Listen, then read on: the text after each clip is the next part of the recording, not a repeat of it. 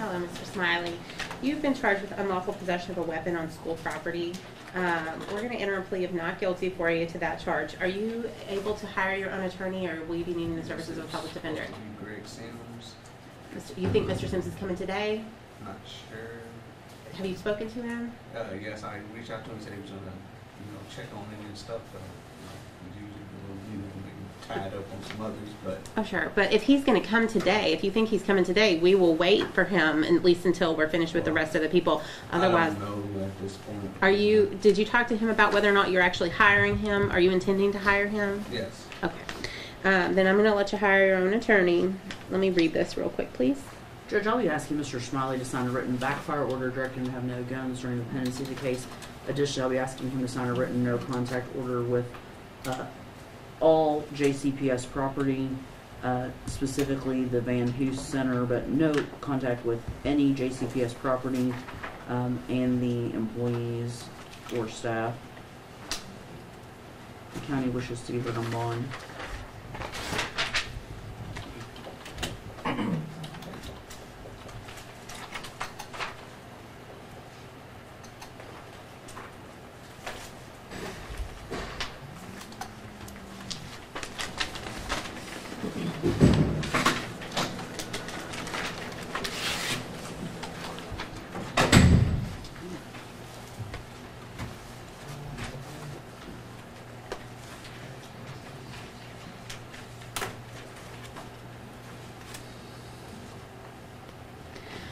All right, go ahead. Your Honor, based on the allegations, it is the county's motion to increase the bond to one hundred thousand full cash. County's position is that, um, the facts and circumstances as alleged in the, um, uh, in the complaint indicated potential danger to, um, the staff and faculty and all of JCPS. Uh, this is an allegation that I believe that after a, um, disciplinary action possibly the week before, uh, Mr. Smiley went to the VanHoose Education Center and was attempting to file some paperwork. He was turned away, and at that point in time, he went and got a gun out of his car, so he had a gun at the VanHoose Education Center.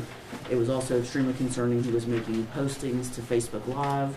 Um, during the course of this incident, um, I can tell you that uh, we received communication overnight from uh, LMPD. Uh, the staff and faculty at Frayser Elementary are extremely concerned about this. Um, they are certainly very concerned about the Facebook Live postings. Um, that let me see, I think I have some of those here.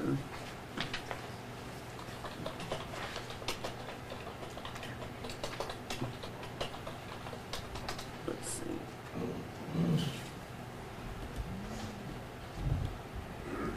Where he makes remarks about the gun.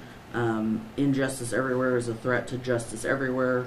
Um, he, I know that part of this he's saying he's there protesting, but certainly in this day and age, um, that is very alarming to the staff at the school. Um, and certainly the county's position is that the way to protest something is not to have a gun and be making postings on Facebook Live about um, that your gun is what brings justice.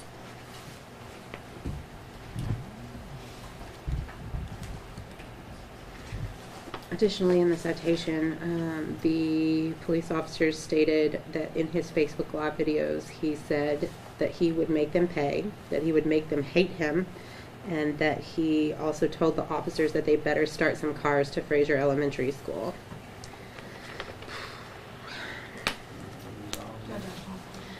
Mr. Sims, I'm sure you. Yeah, I don't, you shouldn't say anything to us. You should talk to Mr. Sims about this, and he's more than welcome to advance this case from the 10-day date to make any necessary bond motions. But at this time, in the interest of the protection of the community, I am going to set the bond at 100,000 full cash per Ms. Southard's request. Um, And certainly, I think additional information can be hashed out at a later date, okay? Is that a violation of eighteen seven? Sorry, what, Unusual- what is the violation? unusual bails?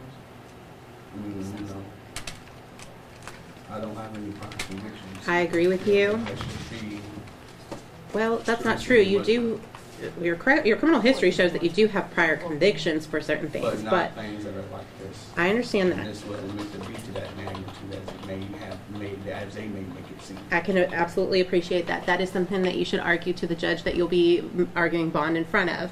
Uh, anytime before February the 21st, it's going to be in courtroom 103 in front of Judge Langford, okay? And you can talk to Judge Langford about the bond.